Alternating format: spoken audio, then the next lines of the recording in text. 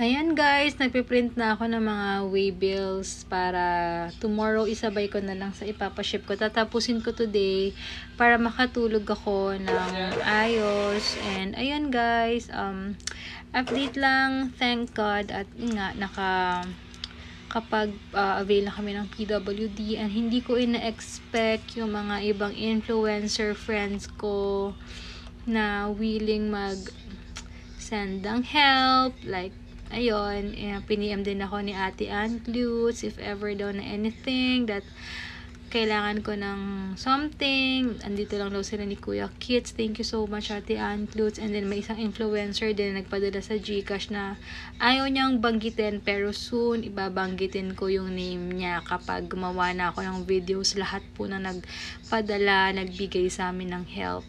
Hindi pwedeng hindi kahit ayaw niya. hindi pwede. So, thank you. Malaking bagay po talaga. And yung kanina, may, nag, may nanonood sa live ko kahit na hindi naman siya bumili. Tawag dito. Kahit di siya bumili, guys, nag-mine lang siya sa akin para ipa-freebie ko daw at gusto lang niya maka-help. Yon, gagawin ko. So, baka yung mga mga nag-mine ngayon, magulat kayo, may ibang name sa kanya po galing yon Ipasasama ko yon sa package or sa package yun ng mga minay niya, ipapa-free ko yung minay niya. Baka masabihin nyo, ay, nagkamali ka ata sis ng padala. Hindi po, galing po kay Mimay Collection yun. So, grabe kayo. Sobrang hindi ko ina-expect. Siguro, sabi nga nila, may nag-comment eh, mamaya i-ano ko yun, i-replyan ko yun. Pero, siguro, ano, tawag dito, Marami kasi akong pinagdaanan na natuto na ako sa buhay, naging mapili na ako sa mga pinapapasok namin sa life namin, sa mga kinakausap ko. So, sabi siguro ni God, goods ka na dyan. So, ngayon, bibigyan kita ng pagsubok, makakita mo yung totoong mga tao na nasa likod mo, na kahit anong mangyari nandiyan dyan. Guys, hindi ko akalain na ganun po yung, yung magiging support nyo sa akin. And, umiyak. Basta, hindi ko ina-expect na ganun pala yung naging impact namin from 2014 ako na nagvo-vlog, na nag enjoy lang naman ako. Tapos, ito may mga opportunity na, na lumalapit na brands na makakatulong sa health ko.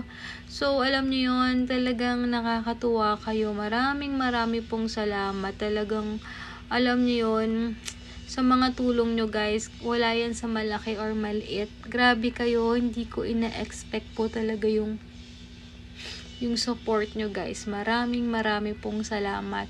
At grabe yung mga comments nyo sa amin na mag-asawa yun nga sabi ko nga talaga na kapag talagang gusto mo lang na mabuti, syempre hindi man tayo forever mabuti or hindi naging mabuti. Syempre may nagkakamali tayo minsan sa mga desisyon natin, sa mga pagkakataon guys. Pero alam mo naman sa sarili mo na ayaw mo talagang makasakit ng ibang tao. 'Di ba? If ever man na may nasabi ka sa ibang tao, siguro may dahilan ka na may reason ka rin naman kung bakit hindi naman porket nagsasabi tayo ng something sa ibang tao is talagang masamang tao na tayo. Ang, ang masama doon, walang ginagawa yung tao sa'yo, pero ikaw, ang dami mong issue sa buhay, so hindi sa'yo yung problema. Pero sa amin guys, simula magkaanak din kami, natuto ko sa buhay as much as possible.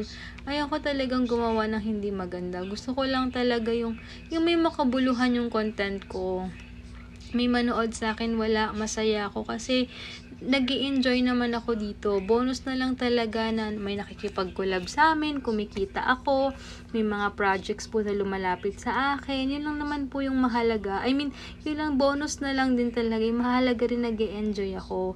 Pero guys, may business ako guys. I mean, pansin nyo, hindi ako, hindi ako naging sa, sa tagal ko na rin dito pwede kong gamitin yung pakikisama ko para sumikat din ako na magkapera ako agad, na makilala ako agad.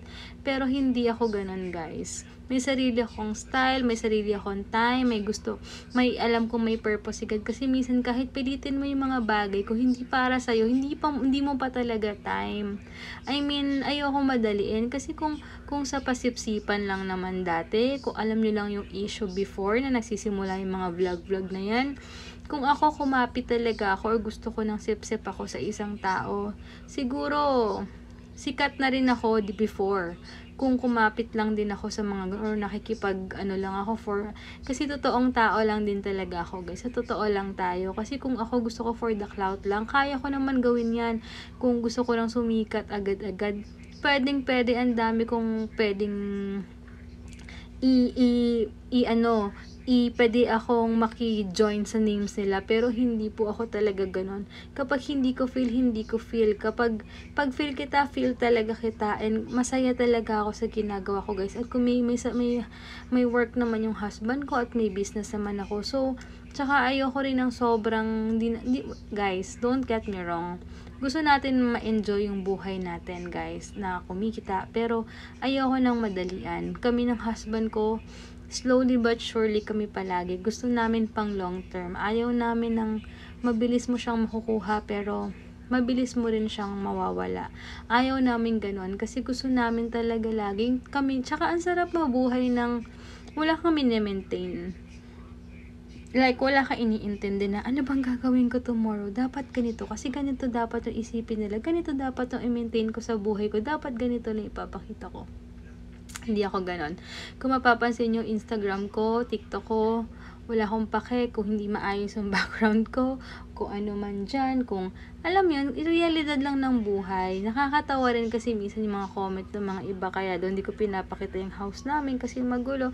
Magulo naman talaga kasi naghahanap buhay ako, guys. Ang hanap buhay ko talaga is before sabon, ngayon mga damit. Natural talaga, guys. Hindi mo talaga maiiwasan alam nyo ba, yung mga pa-aesthetic dyan na pakita ng mga linis-linis ng bahay, hindi naman lahat napapakita yung buong part ng, ano, mga ganun ba? Mga before issue yan. Pero ngayon, ano, hindi wala na naman, pero sinasabi ko lang sa inyo guys, hindi lahat nakikita natin 24-7. I mean, hindi nyo kilala yung tao. Ang dami ko natutunan sa pagsubok na to.